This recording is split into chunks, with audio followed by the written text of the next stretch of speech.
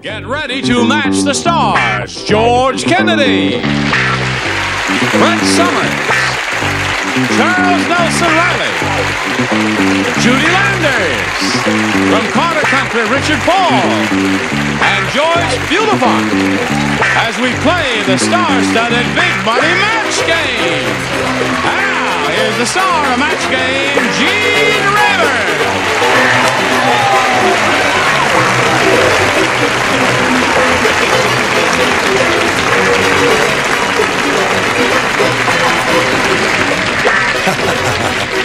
Well, John, how are you? Good, John. How are you out there? Oh, it's a good group. Oh, Oh, you're having a good time this week, no, aren't you? I'm having a rotten time. I'm very depressed about Yes, the I can whole see thing. that. change? but he doesn't catch on to stuff You like ready? that. Yes. Oh boy, I'll bet you are. Let's say hello to Foresi Hogan and Michael Matheson.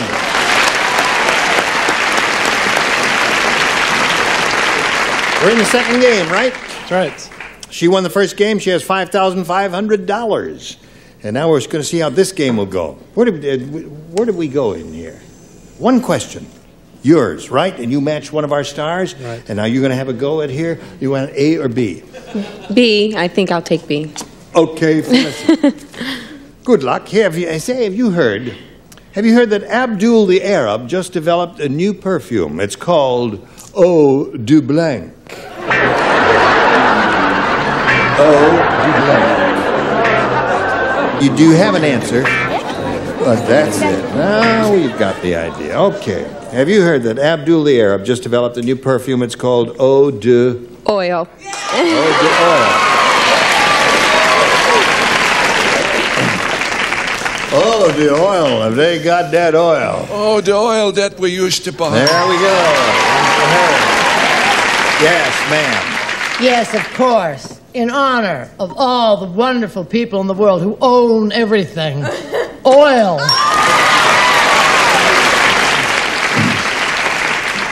Camel. Camel is good. I love it. Camel is a wonderful answer. So it's two to one at this moment. Judy, uh, this new perfume developed by the Arabs is called Eau de Camel. Camel. All right. If it were one hump, it would be ode to uh, dromedary.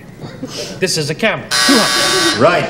Okay, so we got lots of camels and oil so far. Joyce, what do you offer? I didn't go along with the humps. I said oil. Oil.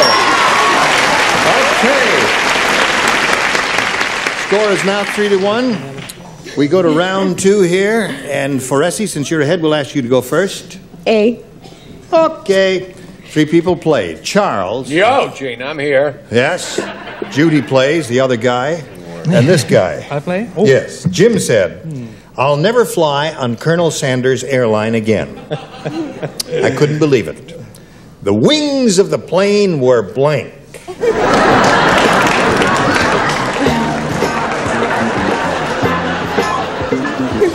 Okay. Ready for Ressie. Jim said, I'll never fly on Colonel Sanders' airline again. I couldn't believe it. The wings of the plane were blank. We're fried? Were fried. Charles, she said the wings of the plane were fried. I said they were flapping. Flapping, as real chicken wings would do.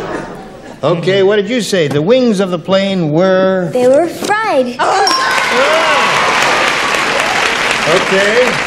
I said they were extra crispy chicken wings. Uh, extra crispy chicken wings? Mm-hmm. That is not fried. Oh, I see. What do you, Okay. how do you think they got extra crispy? Well, You get fried from drinking, Richard Paul. okay, four to one to score in the middle of round two, and you're going to have one more shot at it right after this for you. Expect the unexpected Sit on it.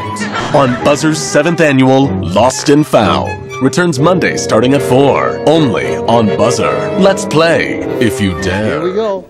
This is the final round. Michael, it's all yours. Good luck to you. Freddie said, I went to the world's meanest eye doctor. Oh, boy. He put. Boy, you kids stink. Should we give him another chance? One more, darling, and not It's another hot. one. It's humid today. It is humid, yes. Freddie said, I went to the world's meanest eye doctor.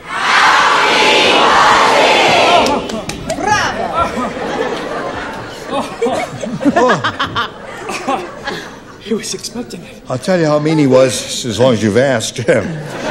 He put my contact lenses in with blank. That's how mean he was. He put my contact lenses in with blank. Very good.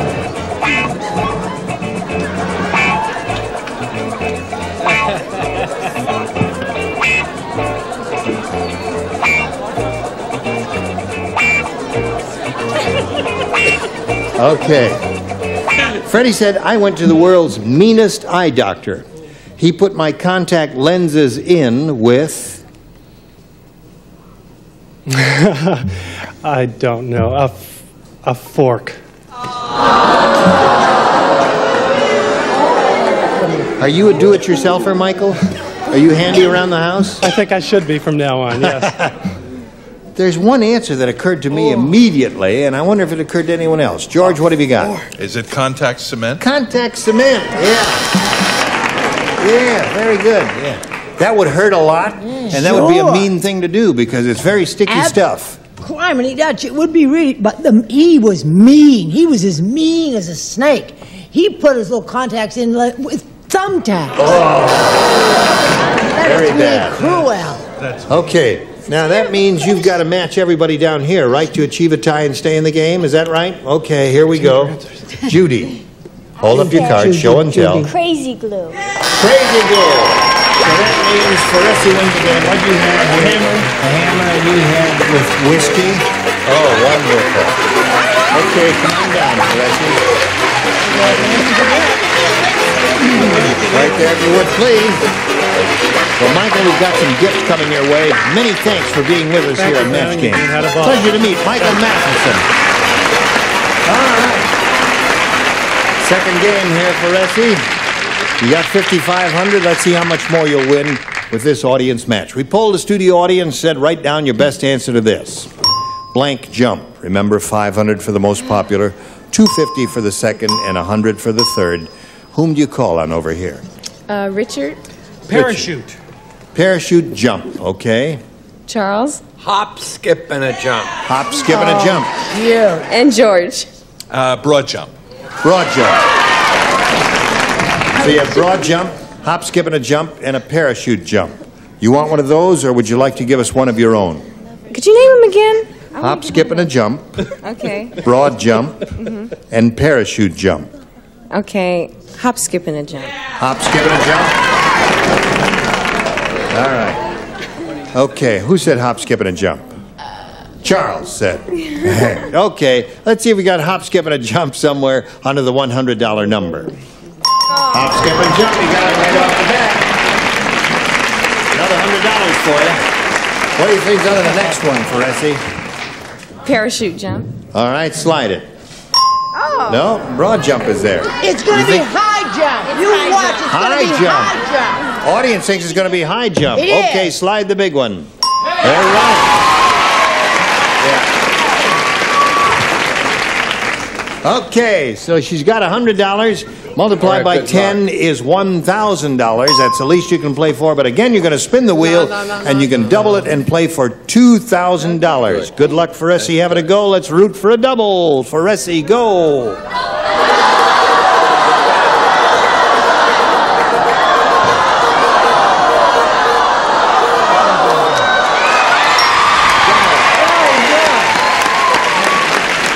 Playing for a double with Judy Landers there. Good luck to you. All right, here we go.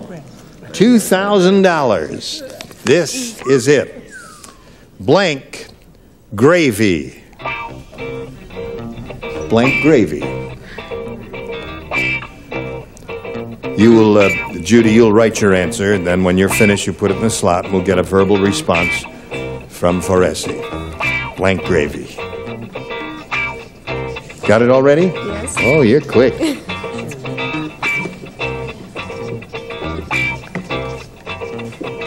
Okay, now, if you give us the answer that Judy's written on the card, you get $2,000. What do you say to that? Brown gravy? Brown gravy. Yeah. What, what, what's wrong, Judy? Can I take it out? Can you take it out? And you want to show everybody what answer you got? Are you proud of your answer? Very proud. Really? Uh-huh. What does it say? Cream gravy? Brown gravy. Congratulations.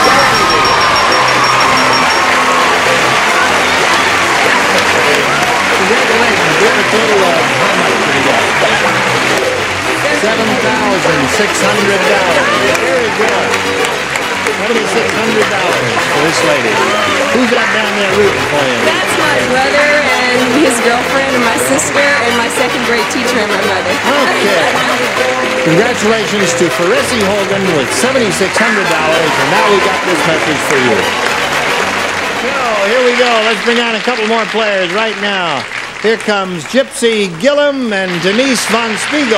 Hello there, ladies. Welcome. Let's get acquainted, find out who you are and where you're from. You'll both be playing two games, of course. Denise, tell us about you. I live in Northern California. My name is Denise Von Spiegel, and I'm a long distance operator. Really? What's the longest distance you've operated?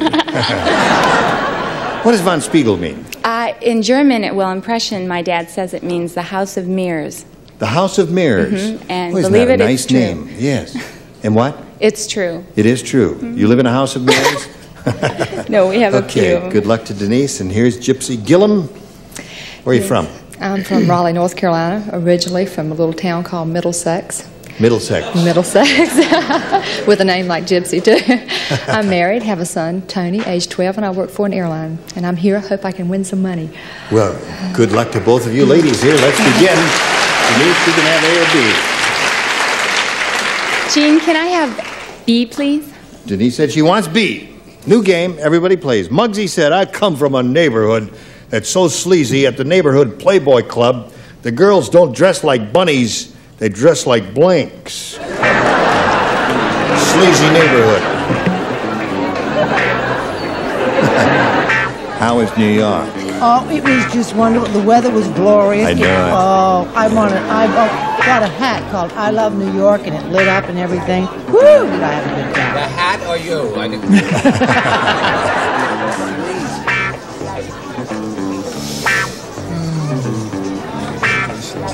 That's all the time you have, Captain. We've got to get on now. Yeah, That's a tough one. That is kind of a tough one. Really? Well, no, I thought of one immediately. I'll tell you what about it later. Yes. Oh, really? Here we go. Muggsy said, I come from a neighborhood that's so sleazy. At the neighborhood Playboy Club, the girls don't dress like bunnies, they dress like blanks. I drew a blank, Gene, but what I'm trying to remember is the little animal with the stripe down his back. Skunk. A skunk. Well, you would hardly find skunks in the city. Uh, but you would find what, George? Well, I didn't go for the animal. I couldn't think of anything. I, they just like cops. Oh. So he drew a blank too, Denise. How did, you, did you draw a blank? Huh? Uh, I said another member of the rodent family. I've never felt the same way about rabbits since I found out they were rodents, and squirrels too. Yeah. I was a grown-up person, thank heavens. Mice, Mice, yeah. because you could find them a lot in the city. A lot of them in and the city, and, and Whee! also a lot of. Yes? Ah, wrong. That's wrong. But rabbits are rodents. No, he meant rats.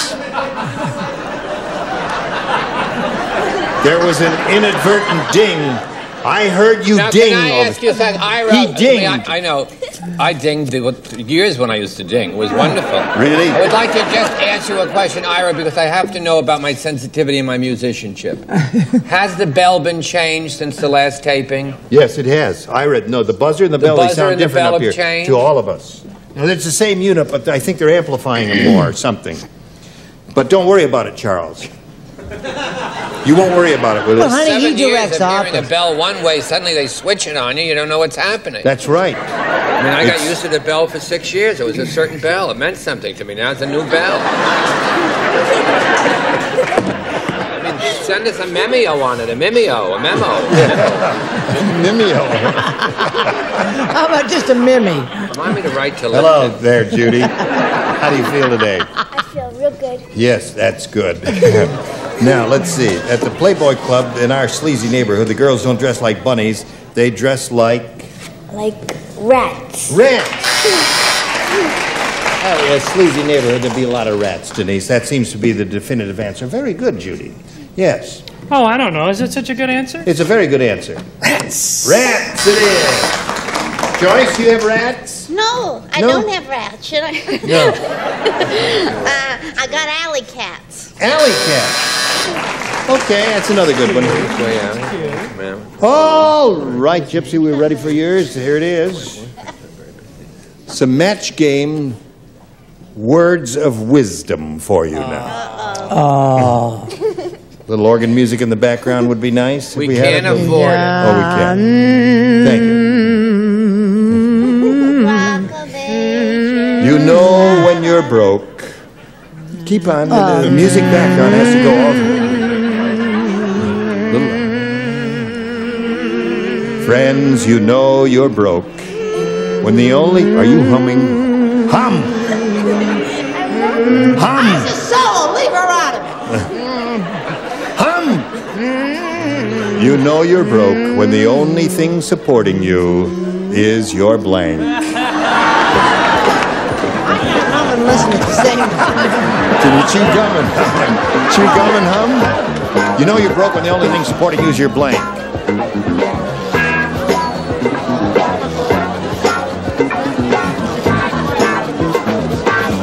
Yes, of course. That'll be wonderful. That's fine. Put it right in there.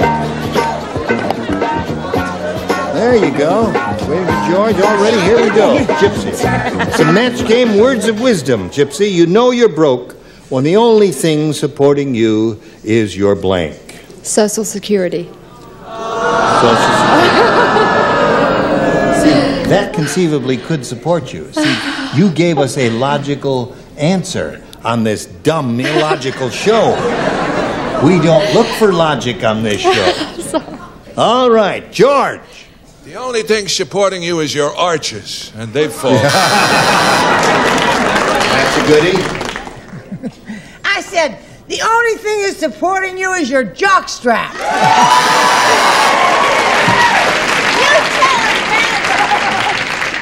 That guy really gives you good answers, doesn't he? Okay. Okay. baby. Did you hear any scores, Brett? I said suppose.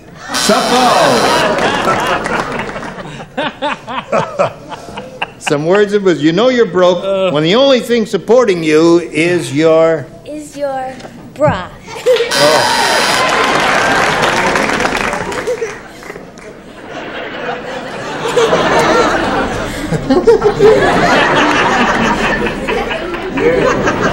You don't. No, no. Yes, Richard. I do wear jockey shorts. Oh, you do. okay, Joyce. Well, we all have different needs, I guess. I said chin strap. Chin strap. Oh, you poor middle-aged lady.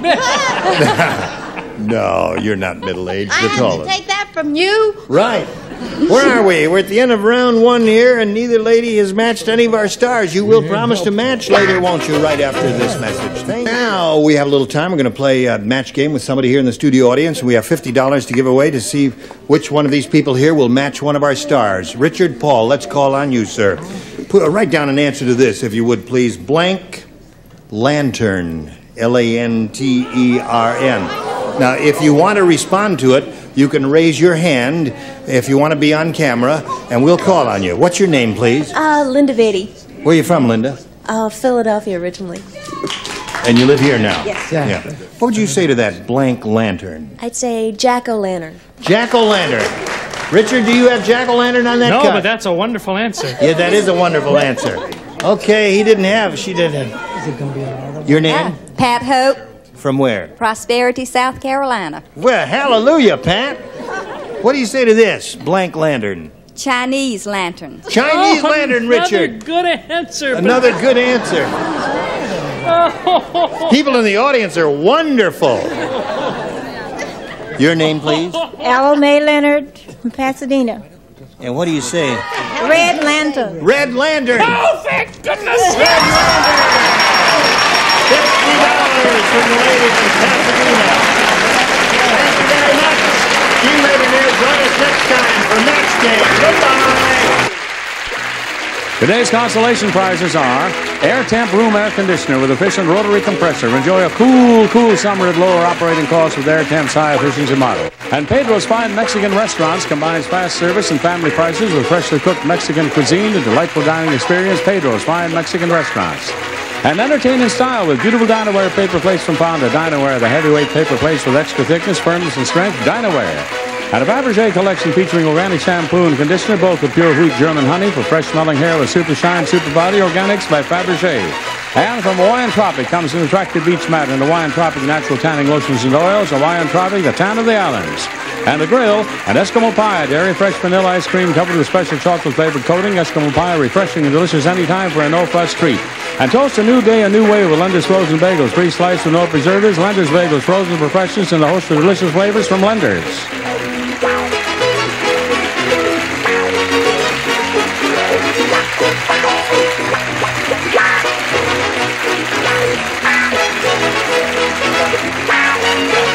This is Johnny Olson speaking for Match Game, a Mark Goodson, Bill Todman production. This program has been edited for broadcast.